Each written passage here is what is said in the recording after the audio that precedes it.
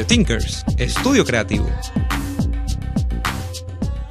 Queridos amigos, bienvenidos nuevamente al canal y bienvenidos a una nueva cápsula de análisis sobre un tema que tenía pendiente abordar y que me parece muy importante y tiene que ver con nuestros migrantes en el mundo. Esta cápsula de análisis se llama Xenofobia, la diáspora venezolana en problemas. Y aclaro antes de arrancar con la cápsula que independientemente de que la diáspora venezolana, por supuesto, que ha dejado compatriotas regados por cualquier parte del mundo. Ya tenemos noticias de venezolanos en Grecia, en Australia, en, no sé, en cualquier país del mundo que hace 20 años jamás hubiésemos imaginado que iba a recibir venezolanos.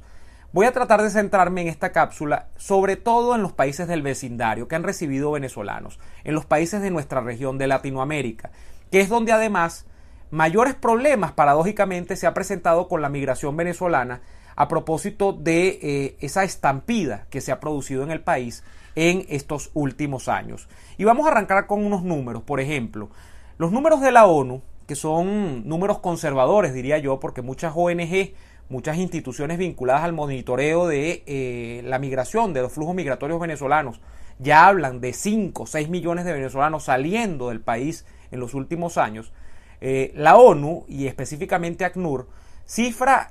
a mediados de este año 2019 la cifra de venezolanos en el exterior en torno a los 4 millones de personas. Y a renglón seguido describe cuáles son los países que mayormente han acogido a estos venezolanos en su huida del país. Son, por ejemplo, en primer lugar Colombia, donde hay 1.3 millones de venezolanos. Luego le sigue Perú, donde hay algo más de 760 mil venezolanos. Chile presenta unos 280 mil Ecuador 260 mil, Brasil 160 y tantos mil, Argentina 130 mil, Panamá unos 95 mil venezolanos y dos países bien interesantes y bien importantes para nosotros como son España y Estados Unidos son prácticamente simétricos en cuanto al número de venezolanos que han recibido en estos últimos años. Se estima que cada uno de estos países, repito, de Estados Unidos y de España, eh, tienen en torno a 300.000 venezolanos viviendo al día de hoy en esos países. Bien, ahora pasemos al análisis. Como primer punto de análisis, y repito que aunque esta podría ser una cápsula que hable en términos globales de una diáspora que yo digo que supera, debe superar eh, a los países de recepción en torno a los 90 o 100 países que han recibido venezolanos, me quedo sobre todo con la región, con Latinoamérica, el primer punto interesante yo creo que sería un punto de vista macro, un punto de vista incluso desde la perspectiva psicológica,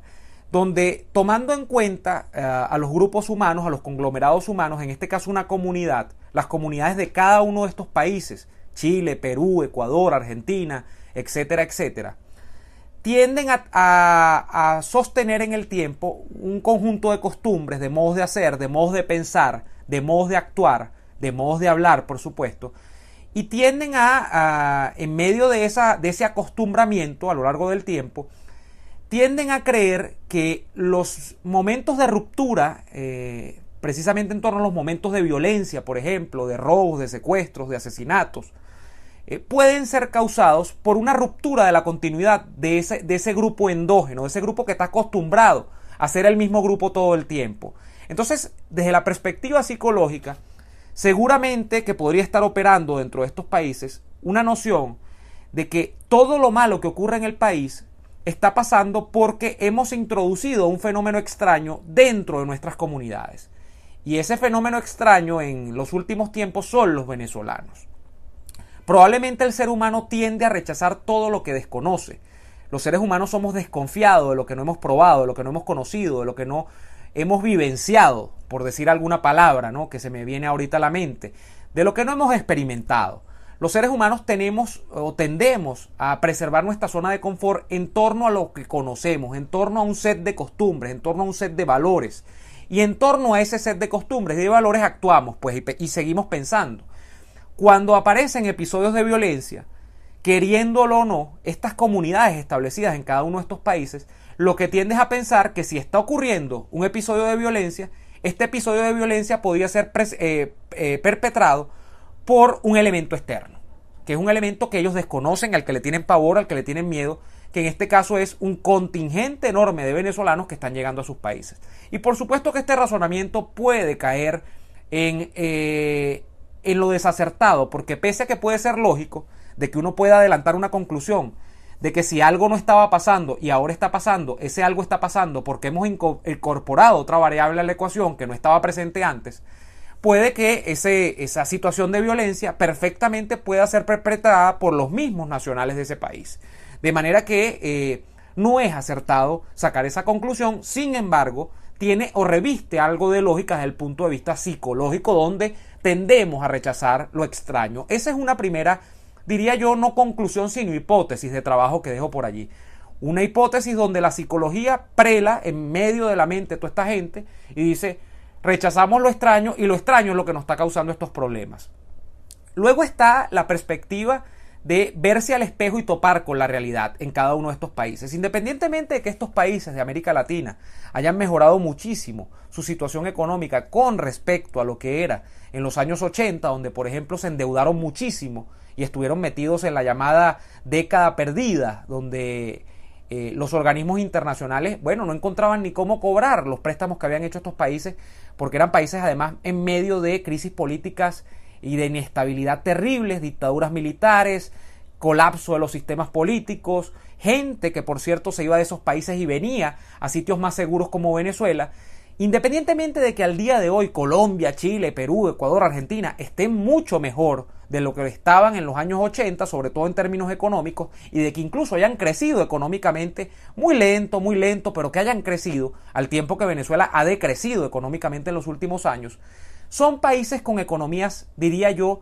limitadas. Son países que solo pueden dar respuesta a determinadas demandas y esas demandas están acotadas por el número de ciudadanos que o la población que tradicionalmente está en esos países. Imagínense ustedes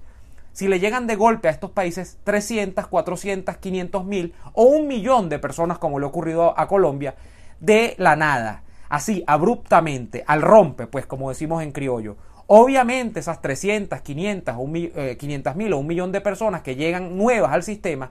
van a generar demandas, sobrecarga de demandas a ese sistema. Van a demandar servicios públicos, van a demandar educación, van a demandar una cantidad de bienes y servicios que en la mayoría de los casos esos estados no tienen la capacidad de absorber porque son estados con economías limitadas hasta cierto punto. Bueno, el tercer elemento importante es que además de que la migración es numerosa y además es abrupta, o sea que llega al rompe a esos países, hay una cultura política heredada de los últimos 20 años en Venezuela, que es no más que la expresión eh, de la descomposición de una cultura política precedente o del sistema político anterior a la llegada de Chávez. Y es que en esa cultura política el ciudadano venezolano está muy demasiado acostumbrado a tener una relación con el Estado, con la presidencia, con las instituciones del Estado, donde lo que se impone es el peticionismo. Yo le pido, le pido, le pido y le pido al Estado que me solucione todos mis problemas. Porque en el caso de Venezuela además tenemos un Estado petrolero donde opera en el imaginario popular la idea de que hay una riqueza que está allí, que está siendo explotada, y a mí alguna gotica de petróleo, de ese petróleo, me tiene que caer en una casa, en alimentos, en salud, ¿por qué no? En un carro o hasta en un viaje, como ocurrió en una época en Venezuela. De manera que esta gente que se va literalmente huyendo del país, porque la mayoría de la gente que se va en estas oleadas migratorias, puede haber mucha gente preparada que se va con una planificación en esa migración, pero la mayoría de la gente que se va, se va haciéndolo de manera atropellada, porque literalmente le están huyendo al hambre. En esa pequeña maleta, con las poquitas cosas que se pueden llevar en la maleta, se llevan esta cultura política y van a llegar a, esos, a esas economías, a esos países eh, receptores, además de pidiendo los eh, servicios y las atenciones básicas que puede darle cualquier Estado a un ciudadano, van a reclamar más, porque están acostumbrados a que en el Estado venezolano la relación era de inmediatez, era una relación donde yo estaba autorizado para pedirle y pedirle al Estado venezolano que me solucionara mis problemas. ¿Cuál es la consecuencia de esto? Bueno, que un sistema que ya se sobrecargaba por el número de venezolanos que estaba llegando, ahora se sobrecarga aún más por la intensidad con la que esa petición, con la que esas demandas se imponen frente a las instituciones de esos países. Y eso genera grandes problemas dentro de esos países. El último problema es un problema que tiene que ver con la visión histórica de América Latina. Y yo lo dejo como pregunta, ¿realmente en América Latina todos somos hermanos? ¿Realmente ese sueño bolivariano de que América estaba conformada por países que eran hermanos, casi que de sangre, incluso eran tan hermanos que Simón Bolívar se atrevió a, juntar geográficamente a todos ellos en lo que pretendía ser un proyecto de un gran país como la Gran Colombia, que apenas murió Bolívar, murió el sueño. Eh, y yo diría que responder esta pregunta tiene que ver con la realidad.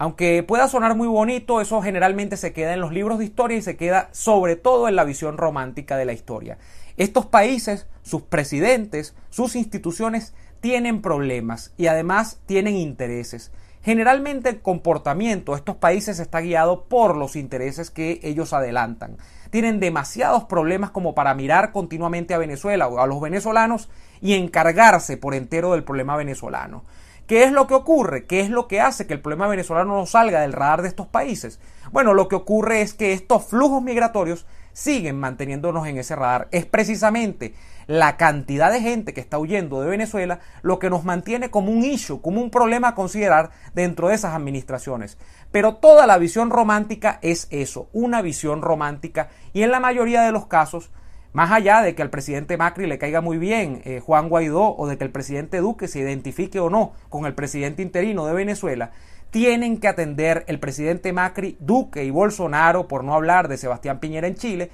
tienen que atender sus propios problemas y eso les deja recursos limitados para atender el problema venezolano dentro de Venezuela y sobre todo fuera de Venezuela. Eso es una cosa que tenemos que tener muy clara. Bueno, agradeciendo que hayan atendido a esta cápsula de análisis, que hayan, la hayan escuchado completa y agradeciendo sobremanera a mis suscriptores en patreon.com, los que me apoyan para seguir haciendo contenidos para ustedes y que disfrutan además de contenidos que en exclusiva estoy publicando allí. Para los que se suscriben, les reitero mi dirección patreon.com slash neoadolfo. Eh, les pido que por favor le den like al video, se suscriban al canal, activen la campanita porque así se enteran de primeros cuando subo nuevo contenido al canal y que sobre todo difundan esta cápsula de análisis en sus redes sociales, WhatsApp, Facebook, Twitter, para que así mucha más gente la escuche. Sin más que decirles, me despido y hasta la próxima.